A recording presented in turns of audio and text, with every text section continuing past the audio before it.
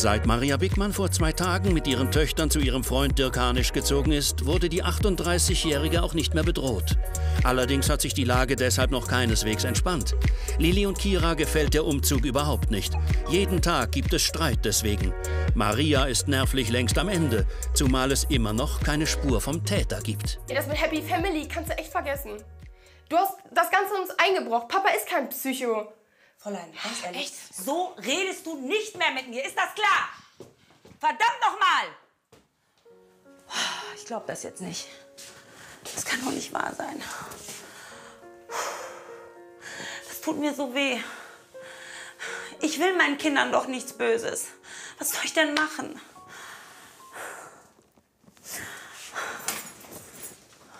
Was war das denn?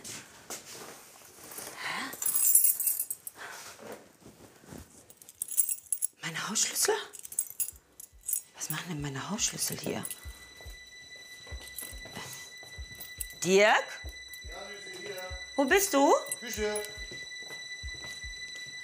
Du, ich habe mal eine Frage. Ja. Ähm, wie kommen meine Hausschlüssel in deine Hose? Echt keine Ahnung.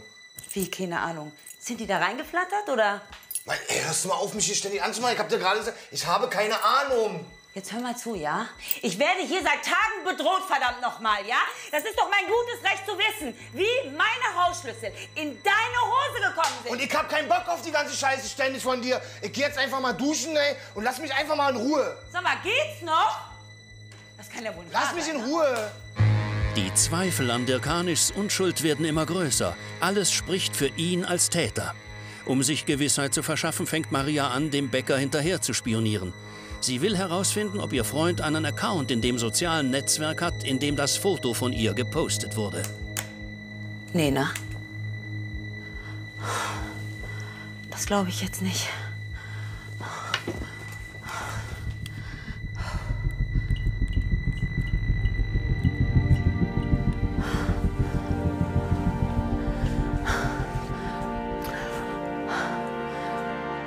Frau Minkwitz? Ja, hallo. Maria Bickmann hier. Ja, hören Sie mal, ich muss Sie ganz, ganz dringend treffen. Ja, ich glaube, dass ich bei dem Psychopathen eingezogen bin.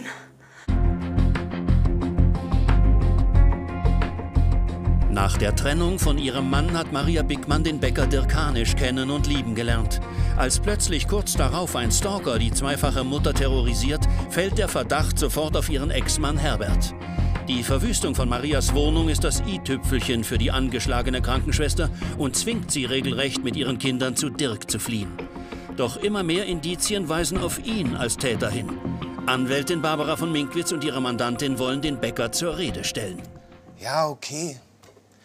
Ich hab mir die mal ausgeborgt, ohne was zu sagen. Aber ich hab ihn aber wirklich zurückgebracht und wie der in meine Tasche gekommen ist, keine Ahnung, ich weiß es nicht. Ist ja hochinteressant. Also das nennen Sie Borgen. Ja, unter Borgen verstehe ich was anderes. Aber dann wüsste ich gerne mal, warum Sie sich den geborgt haben. Soll ich es jetzt sagen? Gut, ich weiß nicht mehr weiter. Ich, wir haben so viel Stress gehabt. Ich habe mir den geborgt, um mit Maria rauszuholen, damit wir zur Ruhe kommen. Ich wollte einen Trip nach Süden mit ihr. Nur wir zwei. Einfach mal alleine sein. Einfach. Ach, das wird immer interessanter. Wenn Sie eine Reise in die Südsee buchen wollen, brauchen Sie den Wohnungsschlüssel von Frau Bickmann. Weißt du überhaupt, was meine Familie wegen dir durchmacht? Hä? Du kranker Typ? Ich glaub dir gar kein Wort. Und außerdem, gestern habe ich im sozialen Netzwerk einen Account von ihm entdeckt. Und in diesem Netzwerk wurde das Foto von mir hochgeladen. Schon vergessen, ja? Was soll ich sagen? Ich hatte auch mal ein Leben vor dir. Ich war Single, ich war alleine. Ich bin Bäcker. Ich habe keine Zeit. Das ist die einzige soziale Plattform, Ach, Hör doch auf zu lügen. Ich lass mich nicht länger verarschen von dir, ja? Du wolltest doch von Anfang an, dass ich zu dir ziehe. Du bist ein Psycho. Psycho? Ich? Und dein Ex? Der kann machen immer noch, was er will, oder wie? Kann ja nicht wahr sein. Ich denke, wir gehen mal lieber. Und ich finde, Sie sollten sich ein bisschen beruhigen, sich vor allen Dingen intelligentere Antworten auf unsere klugen Ich sollte Fragen mich beruhigen? ausdenken. Ich denke mal, Sie gehen bitte lieber. Was soll ich denn jetzt machen? Mit Lili und Kira kann ich nicht zu meinen Freunden. Und meine Eltern wohnen am anderen Ende von Deutschland. Ich weiß echt nicht mehr weiter. Ich hoffe wirklich, dass Frau Minkwitz eine gute Idee hat. Nach dem heftigen Ausraster von Dirk Harnisch muss die Anwältin ihre Mandantin erst einmal beruhigen. Barbara von Minkwitz rät Maria dringend dazu, ihren Ex-Mann Herbert um Asyl zu bitten. Denn eins ist klar, bei Dirk kann sie nicht bleiben. Nachdem die Anwältin der 38-Jährigen versichert hat, dass Herbert definitiv nicht als Täter in Frage kommt, ringt sich die verzweifelte Mutter dazu durch, ihren Ex-Mann um Hilfe zu bitten. Kinder! Mama, freut mich aber, dass ihr hier seid. Womit habt ihr das verdient? Guck mal, wer treibt euch denn hierher? Ja? Maria? Hallo, Was hat das zu bedeuten? Herr Dickmann, es ist so, Ihre Frau möchte Sie gerne um etwas bitten. Jetzt geben Sie sich bitte einen Ruck. Herbert, es ist so. Ich weiß im Moment einfach nicht, wohin. Ich dachte, du bist so glücklich mit deinem neuen. Hm? Wie hieß er nochmal? Ich war glücklich, ja? Ich bin es aber nicht mehr. Herbert, ich habe wirklich Angst, dass Dirk der Psychopath ist, der uns bedroht. Da war sogar ein Foto von mir im Schlaf im Internet. Das ist nicht dein Ernst. Doch, meine Wohnung wurde sogar verwüstet. Ich hatte auch einen äh, Nagel im Autoreifen. Ich kann unmöglich mit den Kindern weiterhin bei Dirk wohnen. Bitte, lass uns bei dir wohnen. Na klar könnt ihr bei mir schlafen. Sicher. Kommt drin. Also, ihr seid mir eine Familie. Das ist aber Immer sehr rein. nett von Ihnen. Gleich links. Danke. Dickmann, Gleich vielen. Dank. Äh, möchtet ihr irgendwas trinken? Maria? Wasser? Danke, ist nicht nötig. Nee? Wunderbar. Kann ich die Jacke abnehmen? nur mal ab. Ach, das ist aber Ja. nett von Ihnen, danke. Äh, Kinder, möchtet ihr was trinken? Sieht aber ganz ordentlich Okay. aus hier, ne? Hätte ich nicht erwartet. Ja, setzt euch ruhig hin. Schön haben Sie es hier, Herr Bigmann. Danke. Toll. Also ehrlich gesagt habe ich hier was ganz anderes erwartet. Dass das hier schmuddeliger ist, aber es ist alles tipptopp. Der Herbert ist richtig sauber dafür, dass das hier eine Junggesellenwohnung ist. Also, so kenne ich Herbert gar nicht. Ich freue mich, dass ihr hier seid. Wirklich. Ihr seid ja doch irgendwie immer noch meine Familie. Oh, nee, nee, komm. Deine schon mal gar nicht, ja? Herbert, wir sind getrennt, ist das klar? Geht das in deine Birne? Das ist nur vorübergehend, dass ich mit den Kindern hier wohne. Und wenn das nicht klar ist, dann gehe ich sofort wieder. Wirklich. Dickmann, jetzt Weil beruhigen Sie sich doch bitte mal. Nee. Das war wirklich viel für Sie, aber so geht's doch der begreift die. Trennung doch gar nicht, ja? Der macht sich jetzt wieder Hoffnungen und meint hier wieder Tralafitti. Oder vielleicht ist er sogar der Psychopath und hat das alles eingefädelt, damit ich hier wieder hinkomme. Bickmann, jetzt beruhigen Sie sich doch bitte mal. Ich finde das wirklich nicht gut. Wir haben doch Nee. gerade eine ganz konstruktive Situation. Kommen Sie, setzen sich bitte wieder hin. Sie dürfen das wirklich alles nicht eins zu eins für bare Münze nehmen. Ihre Frau hat in den letzten Tagen so einen Horror durchgemacht. Ich bin mir ganz sicher, das wird sich wieder beruhigen. Tut mir auch leid, aber ich bin in letzter Zeit wirklich drüber, Frau Minkwitz. Und ich muss wirklich mal ein bisschen runterfahren. Tut mir echt leid, Herbert. Maria, ich kann dir wirklich nur eins anbieten. Ich gebe dir einen Schlüssel, ich ziehe eine Woche zu Klaus. Ja, dann kannst du hier zur Ruhe kommen mit den Kindern. Und ja, wenn es dir dann besser geht, sagst du einfach Bescheid. Ja, also Danke das Einzige, dir. das kann ich wirklich machen, aber ich möchte, dass du mir einfach wieder vertraust. Ja, Ja? Tut mir leid, ich, ich werde mal wieder ein bisschen runterkommen. Das Ja. war wirklich nett von Ihnen. Vielen Dank für Ihr Verständnis und Ihre Hilfe. Herbert Bickmann hält sein Versprechen und lässt sich nicht blicken.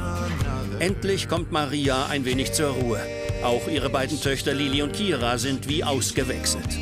Als die 38-Jährige nach ihrer Arbeit nach Hause kommt, haben die beiden eine Überraschung für sie. Das ist doch nicht etwa... Doch, Grünkohl mit Pinkel. Nein, mein Lieblingsessen. Wie süß von euch. Wir wollten uns bei dir entschuldigen. Wir waren in letzter Zeit echt scheiße.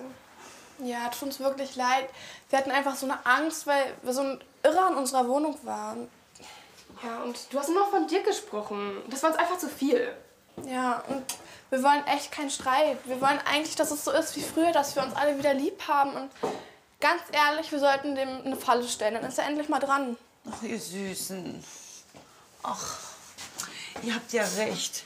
Ich meine, ich war in letzter Zeit wirklich oft daneben, ja? Aber es ist alles wieder gut. Ja? Sicher? Ja, und wir machen gar nichts. Wir überlassen alles der Polizei und unserer Anwältin. Ja? Ja. Und ab jetzt halten wir wieder zusammen. Versprochen? Ja? Komm, Faust drauf. Ja? Also, ich habe Riesenhunger. Lass uns jetzt essen. So, ich hol dann eben noch die Teller. Schwarz, holst du eben die Teller? Ich komme sofort. Ich gehe eben noch zur Tür.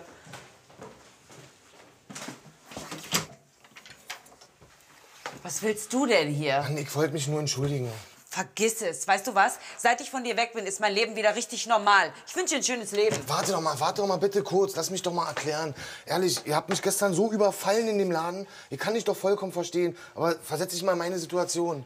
Ich bin hierher gekommen, ein bisschen was aufzuklären. Guck mal, hier sind die Tickets in, in den Süden. Und den Schlüssel, den, den habe ich genommen, ja, und ich habe ihn gebraucht. Ich wollte unbedingt wissen, wo du noch nicht warst. Was für Tickets? Ich hab gedacht, ich hab echt gedacht, Dirk, du hast alles nur erfunden. Nee, schau, schau doch dir das Buchungsdatum an. Ehrlich, und wie der Lippenstift, das ist kein Spaß, wie der in mein Hemd gekommen ist, keine Ahnung. Und der Schlüssel zurück in meine Hosentasche, ich kann mir das überhaupt nicht erklären. Süße, wenn das alles hier bedeutet, damit du mir glaubst, dass ich dich in Ruhe lassen soll, dann lass ich dich in Ruhe, so schwer mir das fällt. Aber ich will, dass du glücklich bist, auch wenn das heißt, ich darf dich nicht wiedersehen. Dirk, weißt du, ich, ich bin so durcheinander. Ich will dir ja glauben. Ich will Herbert auch glauben. Aber ich bin einfach misstrauisch geworden. Mann, ich kann dich doch verstehen, ehrlich. Ähm, aber ich höre ja raus, dass du ein bisschen zweifelst. Und ich hätte da eine Idee. Ich hab, kennst mich ganz rein zufällig. Von deiner Lieblingsband hier unten in der Kneipe. Zwei Tickets. Und ich würde mich echt freuen, wenn wir uns heute Abend da treffen könnten und noch mal über alles quatschen. Ganz, wirklich ganz unverfänglich. Und wenn, auch wenn du willst, dass ich dich in Ruhe lasse, lasse ich dich dann in Ruhe. Aber ich würde mich echt freuen. Gib mir doch mal einen Ruck und Na gut. Aber wirklich ganz unverbindlich, Echt? ja? Hey, natürlich unverbindlich. Ey, Gut. Hübsche, ich würde mich echt freuen. Okay. Ich weiß wirklich nicht, ob ich im Moment das Richtige tue. Ich mag Dirk wirklich gerne.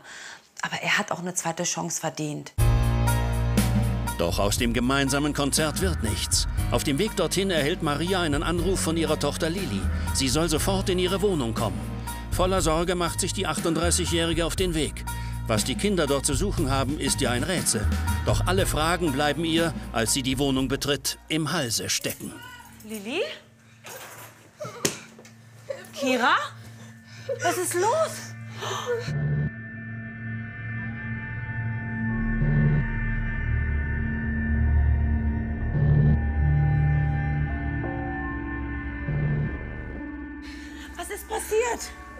Was ist passiert hier? Was macht ihr hier in der Wohnung? Wir haben nur Schulkram geholt. Was für Schwul Schulkram? Seid ihr wahnsinnig?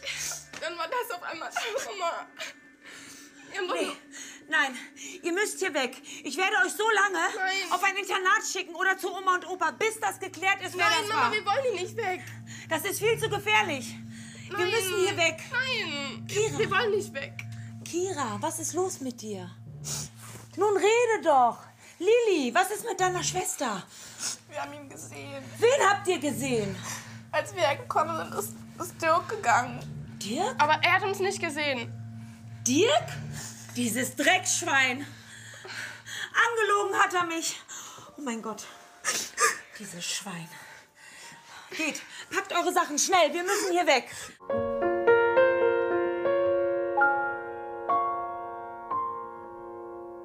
Nach diesem schrecklichen Erlebnis kümmert sich Maria erst einmal um die schockierten Kinder und informiert ihre Anwältin Barbara von Minkwitz. Die lässt es sich nicht nehmen, sofort vorbeizukommen, um nach den Kindern und ihrer Mandantin zu sehen. Gemeinsam wollen sie überlegen, was jetzt zu tun ist. Mitten im Gespräch klingelt es an der Tür. Maria traut ihren Augen nicht, als sie sieht, wer da gut gelaunt vor ihr steht. Hey, hey, hübsche Frau. Wo warst du gestern? Ich hab auf dich gewartet, ey. Die Band war echt spitze. Ich glaub's nicht, dass du dich noch hier hintraust. Äh, warum nicht? Weißt du was? Verschwinde. Du bist das allerletzte. Ich will dich nie wiedersehen. Hä, bin ich hier im falschen Film oder was? Du bist doch der kranke Psycho hier. Krank bist du. Wer ist hier der Psycho? Du drehst doch hier völlig durch. Also passen Sie mal auf, Herr Hanisch. Was Sie hier versuchen, ist Hausfriedensbruch. Und wenn Sie nicht sofort verschwinden, Herr Hanisch, dann hole ich die Polizei. Da können Sie Gift draufnehmen. Hey, bin ich hier der Fußabtreter der Nation? Die dreht hier völlig frei und ich, ich weiß überhaupt nicht, was los ist. Nee, Komm! du bist der Psychopath. Ich will dich nie wiedersehen. Lass du schon wieder! Nee. Wissen Sie was? Ich finde, es ist jetzt hohe Zeit, ein Annäherungsverbot beim Familiengericht zu beantragen. Nach dem Gewaltschutzgesetz steht darauf bis zu ein Jahr Freiheitsstrafe. Und Sie haben vor allen Dingen die Möglichkeit, jederzeit die Polizei zu holen, wenn der wieder auftaucht. Sie haben recht. Ich kann auch nicht mehr. Ist nicht wie von Terror gewesen. Was, was hat denn der Mistkerl getan? Weißt du was? Verschwinde! Das ist ganz komisch, dass gerade du jetzt hier auftauchst, ja? Ich möchte keinen mehr von euch sehen. Ich suche keinen Mann, ich suche auch keinen Vater für Kira und Lili. Ich möchte einfach nur mein altes Leben wieder. Verschwinde jetzt Maria, was meinst du? Ich nee, doch- verschwinde, ich doch pack nur- mich nicht an, ja? Verschwinde. Und weißt du was? Ich ziehe wieder zurück in meine Wohnung. Die werde ich dann komplett verriegeln, sodass keiner von euch mehr rein kann. Ja, komm. Merken Sie das nicht? Die ist wirklich völlig mit den Nerven am Ende. Es ist das Beste, wenn Sie jetzt gehen. Ist Herr okay, Wittmann. ich wollte auch nur meine Post holen und Ihre dann Post? verarschen kann ich mich alleine. Ihre Post also gebe wirklich, ich ja? Ihnen, ja, Dankeschön. tschüss. Tschüss. Das ist doch kein Leben mehr. Ich bin doch nur noch auf der Flucht. Ich war früher immer selbstständig, hab alles geschafft und jetzt, jetzt bin ich nur noch ein Opfer. Nee, und ich bin mir sicher, einer von den beiden muss das gewesen sein.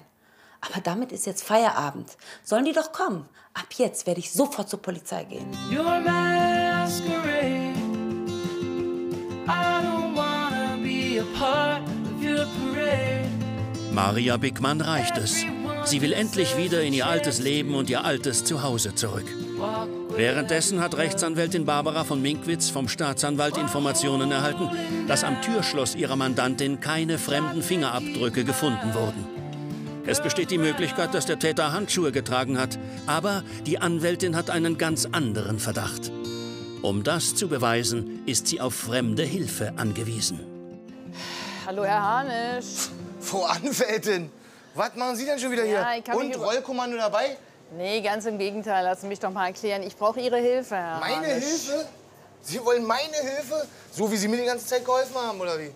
Ich kann Ihr Misstrauen ja verstehen, aber die Ermittlungen haben ergeben, Herr Harnisch, dass Sie unschuldig sind. Ach, jetzt bin ich auf einmal unschuldig für Sie. Ja, die Ermittlungen haben ergeben, dass in der Wohnung von Frau Bickmann überhaupt keine fremden Fingerabdrücke, keine Fremdspuren sind. Und das bedeutet, es müssen die Töchter von Frau Bickmann dahinter stecken oder die haben es sogar selber gemacht. Die Mädels, aus welchen Gründen sollten die sowas tun? Ich glaube das mittlerweile, aber genau dieses Warum, das müssen wir klären. Ich muss beweisen, dass meine Theorie stimmt. Und deshalb bitte ich Sie, dass Sie sich mit den Mädchen befreunden, damit wir das herausfinden. Befreundet? Äh, So wie sie das anhört, hassen die mich. Da haben Sie recht, ich weiß das. Aber Sie sind der einzige Mann, mit dem ich das machen kann. Mir fällt sonst niemanden ein. Und ich denke, wenn Sie den Mädchen suggerieren, dass sie auch verstanden haben, dass die Beziehung mit ihrer Mutter völlig unsinnig ist und den Töchtern nur schadet, dann haben Sie die auf Ihrer Seite. Tja, aber aus welchem Grund sollte ich Ihnen jetzt noch helfen? Sie sollten das tun, um Frau Bickmann zu beweisen, dass Sie unschuldig sind. Wissen Sie, ich habe doch auch gemerkt, eigentlich hat die Beziehung zwischen Ihnen doch sehr gut funktioniert. Eigentlich passen Sie doch gut zusammen. Ich weiß wirklich nicht. Also, Wissen Sie, ich glaube auch, wenn ich der Frau Bickmann das liefern kann, dass wir den Fall aufklären, ähm, dann wird die auch das Annäherungsverbot gegen Sie sofort zurücknehmen. wir können es versuchen. Ich bin über, nicht überzeugt, aber lassen Sie uns versuchen. Nachdem Dirk Harnisch zugestimmt hat, der Anwältin bei der Aufklärung zu helfen, tauschen die beiden ihre Nummern aus. Dabei fällt Barbara von Minkwitz etwas auf. Der Bäcker macht auffallend viele Rechtschreibfehler. Ich bin so froh, dass ich Herrn Hanisch überzeugen konnte, mir zu helfen. Vor allen Dingen bin ich absolut sicher, dass der Mann völlig unschuldig ist. Also, das muss man sich mal auf der Zunge zergehen lassen. Also eine Brezel oder ein Pfannkuchen habe ich noch nie gegessen. Deswegen kann er das auf dem Spiegel in der Wohnung Bigmann nicht geschrieben haben. Schon am nächsten Sonntag ist es soweit. Die Anwältin und Dirk wollen Lili und Kira beobachten, während sie sich mit einer Freundin treffen. Dazu hat sich der Bäcker mit einer Knopfkamera und Ohrstöpseln ausgestattet. So halten die Anwältin und er die ganze Zeit über Kontakt. Die Infos über das Treffen hat Rechtsanwältin von Minkwitz zufällig mitbekommen. Es dauert nicht lange und die Mädchen tauchen auf. Sie gehen mit ihrer Freundin in einen Hinterhof, um ungestört reden zu können. Sofort pirscht sich der 42-jährige Bäcker unauffällig an die Mädchen ran. Wenn die irgendwie zugeben, dass sie hinter den Attacken stecken, dann bitte bleiben Sie im Hintergrund. Wir brauchen so viele Informationen wie möglich, ja? Oh Mann, ihr seid so krass. Wollt ihr das jetzt echt durchziehen? Klar, ey. Ich brauche was Richtiges jetzt so langsam. Mann, ja, aber Lilly, ey, langsam reicht's, oder? Mama geht's echt scheiße. Nee, steh ich nicht an. Das war eine richtig geile Performance letztens. Als ihr da in die Wohnung rein seid? Ja, ich habe extra eine Zwiebel aufgeschnitten, damit das so aussieht, als ob wir heulen. Und das hat auch richtig gut geklappt. Ja, läuft doch gut. Also. Oh Mann, Frau Minkwitz glaubt, die haben mich gesehen. Jetzt tun sie einfach so, als ob sie zufällig da wären. Ey, ist Ey, verdammt. Ey, Kira, Lilly, warte mal, bitte. Ey, bitte. Kira, Lilly. Lass die in Ruhe, Bitte, hört mir doch mal zu. Verdammt, Mensch. Scheiße, Frau Minkwitz. Ich gehe denen hinterher, bleiben Sie ruhig. Mann, verdammt, ey. Ohne zu zögern eilt Rechtsanwältin Barbara von Minkwitz hinter den Teenagern her. Sie muss sie stoppen, bevor sie ihren Plan in die Tat umsetzen. Die Anwältin darf die beiden auf keinen Fall aus den Augen verlieren. Aber genau das passiert. Plötzlich sind die Mädchen für einen kurzen Moment nicht mehr zu sehen. Was ist denn da los?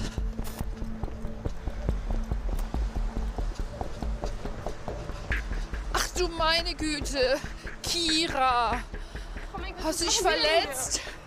Ich helfe eurer Mutter und ich dachte eigentlich bis eben auch euch. Wie ist denn das passiert? Sie sind mir gerade einfach vors Fahrrad gerannt. Ich war vielleicht ein bisschen zu schnell. Ja, vielleicht ist gut, höchstwahrscheinlich. Ich rufe mal sofort den Notarzt an, ja? 110. Nee, auf gar keinen Fall. Das muss der Notarzt machen. Man weiß ja nie, was passiert ist.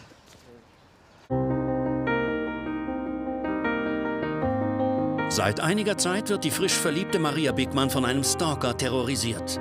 Der Verdacht fällt zunächst auf ihren Ex-Mann Herbert. Aber dann finden sich immer mehr Indizien, die Marias neuen Freund Dirk Hanisch schwer belasten.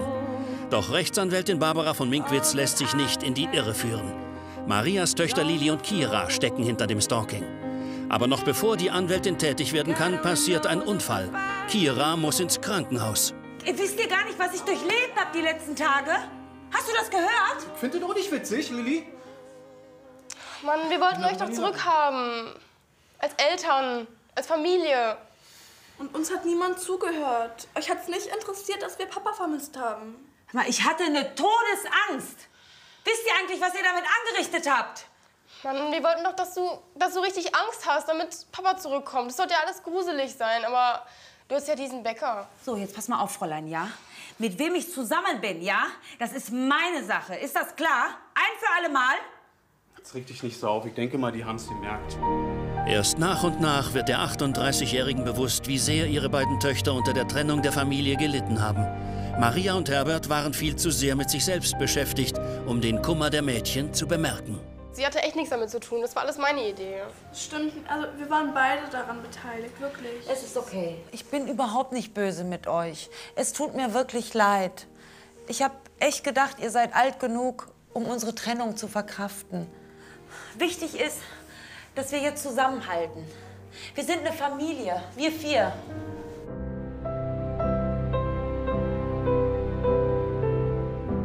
Lilly und Kira fallen unter das Jugendstrafrecht, aber ich gehe nicht davon aus, dass die eigenen Eltern ihre Kinder wegen Sachbeschädigung anzeigen. Und da wird auch kein öffentliches Interesse bestehen. Schwieriger ist es schon mit der Verdächtigung und mit den Ermittlungsarbeiten, die die Mädchen bei der Polizei verursacht haben. Nach der Beichte ihrer Töchter wird Maria Bigmann bewusst, wie ungerecht sie Dirk behandelt hat. Die Krankenschwester möchte sich so schnell wie möglich mit dem Bäcker aussprechen. Als die 38-Jährige am nächsten Morgen plötzlich unangekündigt in dessen Laden steht, befürchtet der 42-Jährige, dass Maria ihm nur weitere Vorwürfe machen will. Es tut mir einfach leid. Und sag mal, warum hast du mir nicht gesagt, dass du Legastheniker bist?